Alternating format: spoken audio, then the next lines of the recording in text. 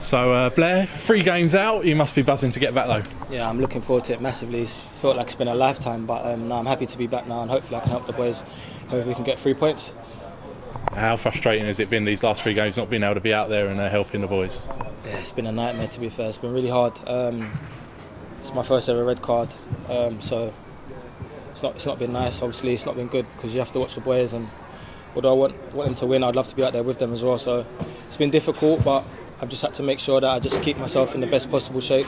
That when I come back, I can give the boys the best opportunity and the best player that I can be. Really, so that's all I really had to do in the meantime. So, like you say, you kept yourself in shape. Obviously, you've been training all the time. You've been suspended. How's that been uh, with the new regime?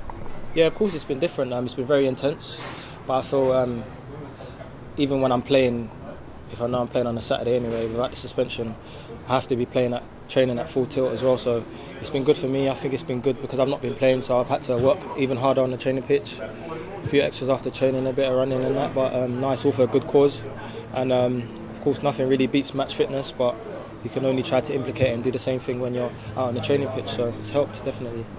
And uh, during your time off, you've uh, had a little go at uh, being a radio commentator as well. How was that? Yeah, it was alright. You know, I actually enjoyed it. To be fair, um, I think I found a little uh, a little role. I said to the boys, to be fair, I don't really want to be seeing them again, but um, if they, if it ever does come about, then I could maybe do it. Um, but no, it was good. It's good to look at it from a different view of the pitch as well and see what they see. Um, so that was also something to be positive. But now it's all about showing while I'm while I've been away what I can bring to the team and what I can help the boys now. So moving on to Saturday's game, uh, what sort of game are you expecting? Um, well, we know it's going to be difficult. Um, of course, it's, it's too early to really look at the proceedings and the the, the, the, the actual league itself.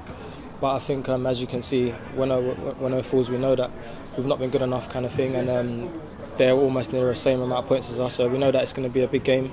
Um, but I think for us, it's about almost just doing what we're doing on a training pitch and getting back to basics, and hopefully um, we can get a win.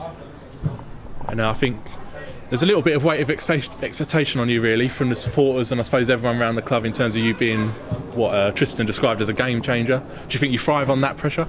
Yeah, definitely. I think in any in any terms of life, any terms of football, you're going to get that sort of pressure, and that's the type of player. You, if you're going to be a big player, you've got to thrive off that uh, pressure, and you've got to make sure that it's justified in what everyone else is talking. And I think actions speak the loudest, and that's what I've got to do on the pitch now. I've got to help the boys, um, not just by scoring, but just showing what I can do and help the boys to get a result and get some uh, chances, and not just score, but also set up some goals also. So hopefully we can do that, and hopefully we can get the three points. Yeah, that's the most important thing at the moment.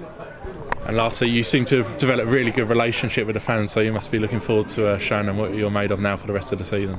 Yeah, 100%. I think um, I can only apologise for getting red carded, and I can only really make it up by when I go on the pitch, giving 100% for the football club, and hopefully we get some uh, good results, and hopefully the run can start going in a positive manner now.